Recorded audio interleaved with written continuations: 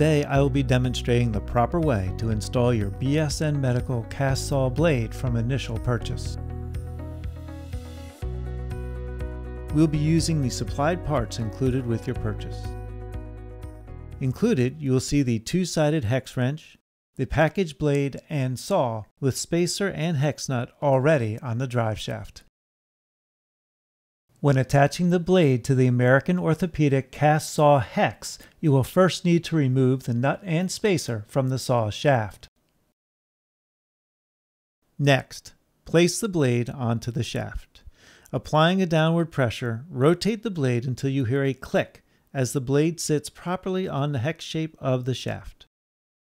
Place the spacer onto the shaft. Then, thread the nut onto the shaft. Using the hex wrench, tighten the nut down onto the shaft as far as you can tighten.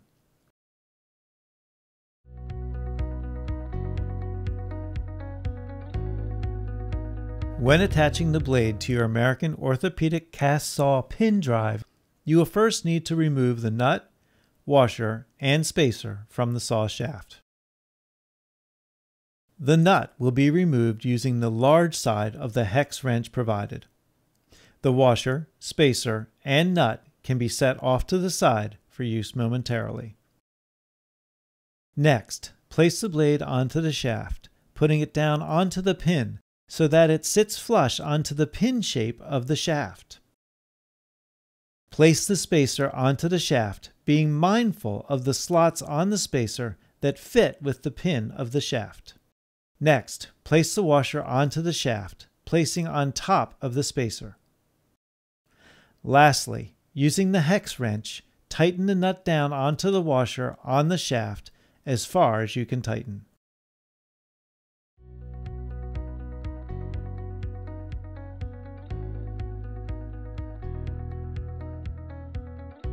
When the blade teeth are dull, or the blade section is covered in casting product, it's time to rotate your blade. The blade on the American Orthopedic cast saw hex can be rotated six times to allow for use of the entire blade over time. You will first loosen the nut on the saw shaft. The nut will be loosened using the small side of the hex wrench provided. You can remove the nut and spacer completely if this helps visually. Or you can loosen the nut just enough to allow you to move the blade off the hex portion of the shaft to rotate it to the next position on the blade. For the hex cast saw, rotate the blade 60 degrees to the next open position, applying a downward pressure until you hear a click as the blade sits properly on the hex shape of the shaft. Using the hex wrench, Tighten the nut down onto the spacer on the shaft as far as you can tighten.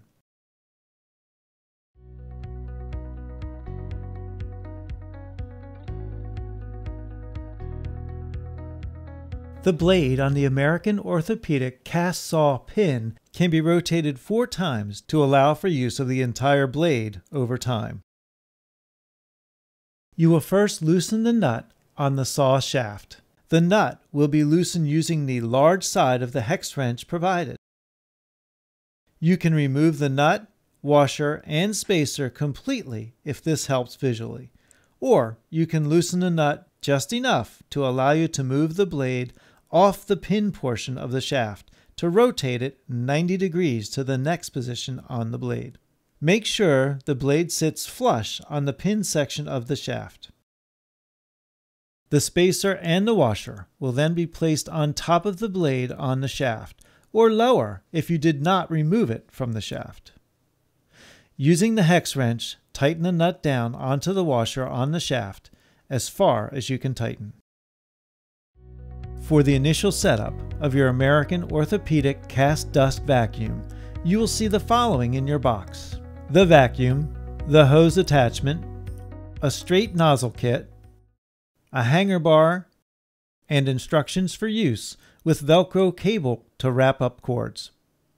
Once all components are removed from the box, you will first remove the lid from the vacuum. Then you can slide the hanger bar into the open channel on the back side of the vacuum. The lid can then be placed back onto the vacuum. Next, you will attach the hose end onto the 90 degree elbow fitting at the front of the vacuum. The nozzle kit will be used to connect the hose from the vacuum to your saw. You will have to disassemble before using. First, remove the larger hex screw from the nozzle and black adapter using the hex wrench supplied. When attaching the nozzle for vacuum onto saw, you will first remove your blade from the saw if already attached. Next, you will attach the black nozzle adapter to the saw with the three smaller Torx screws and Torx wrench supplied with the nozzle kit. Once the black nozzle adapter is attached, the blade must be installed. After the blade is installed, you will attach the nozzle to the black adapter. Ensure the blade is in the center of the nozzle opening. Then, using the hex key wrench provided, tighten the larger hex screw through the nozzle into the black adapter. You will tighten this hex screw as tight as you can with the hex key wrench. Once the nozzle is attached to the black adapter on the saw, you can attach the hose end to the nozzle for use with the vacuum. Now that your components are assembled, you can now connect to a power source you will plug in the vacuum power cord into the appropriate wall outlet or power supply. On the front of the vacuum, you will see a relay box. This relay box has a toggle switch with three modes off, vacuum only, and vacuum saw used together. If you toggle the switch to vacuum only, you will notice the vacuum turns on and suction is established.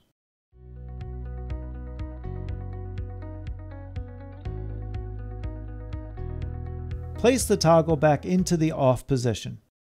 Then, plug the saw power cord into the relay box. Toggle the switch to vacuum and saw use. Turning on the saw by the switch on the bottom of the saw will power up the device operating both together. To allow for better leverage, start further away from you and start cutting toward yourself using an overlapping method, meaning use half of what you just cut into to further advance the saw. There are three different ways to hold the saw to ensure you have control of the depth. One method is using the thumb method when you place your thumb on the cast as you control your depth. A second method to hold the saw correctly to control your depth is extending your index finger and placing it on the cast as you move toward yourself. The last way is to place the top of your index finger on the cast by rotating your hand around the handle of the saw to ensure that you have direct contact with the cast as you cut simultaneously. When your vacuum seems to have less suction or no suction, it may be time to change your filter. You will disconnect the vacuum power cord from the wall outlet. Remove the lid from the vacuum and remove the plastic caps from the underside of the lid. Those caps are used to cap off both ends of the filter cartridge. That filter can then be discarded in biological waste. With the new filter, you will remove the caps on both ends, then place them into the foam cutouts on the underside of the lid.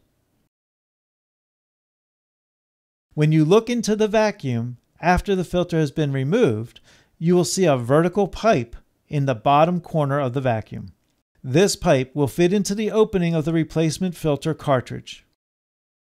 Holding the filter vertical with the hole facing down, gently insert the filter into the vacuum tower until the filter is sitting snugly in the vacuum tower.